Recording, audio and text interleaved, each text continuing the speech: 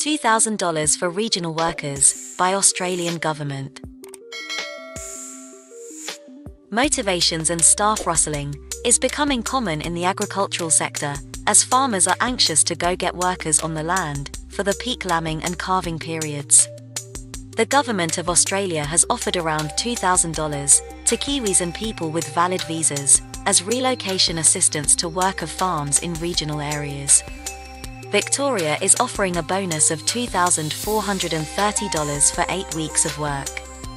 According to Jason Herrick, Southland Federated Farmers Sharemilker chairman, the incentives combined with quicker pathways to family reunification made immigrant farm employees to move to Australia or Canada. Moreover, he added that Australia cannot be blamed for grabbing the opportunity. When the travel bubble opens, the workers can leave work and start after three or four days. On Monday, according to the recent Federated Farm Confidence Survey, 1422 farmers were surveyed in July, and almost half of them found it difficult to look for skilled workers, increasing 13 point I on 35% of farmers who referred to staff shortages. Dairy New Zealand and Federated Farmers conducted a survey earlier this year, which revealed that 49% of dairy farmer respondents were short of staff, and 25% was unable to fill the vacancies for over six months.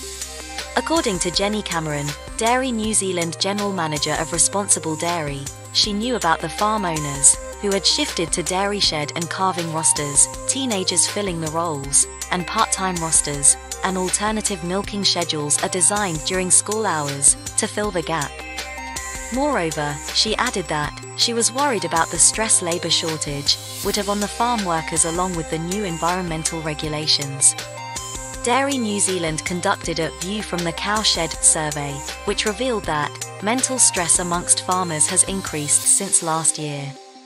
According to Cameron, little efforts were done to overcome the shortages, and the 200 class exemptions issued the government would miss the peak calving season. It was difficult for Herrick to believe that New Zealand would offer same incentives Australia is advertising, considering the weight on managed isolation and quarantine spots was stopping workers from entering the country. He believes that government must make efforts to listen to the farming representatives during immigration. According to Herrick, since Kiwis were not willing to work, Southland was facing loss of immigrant workers.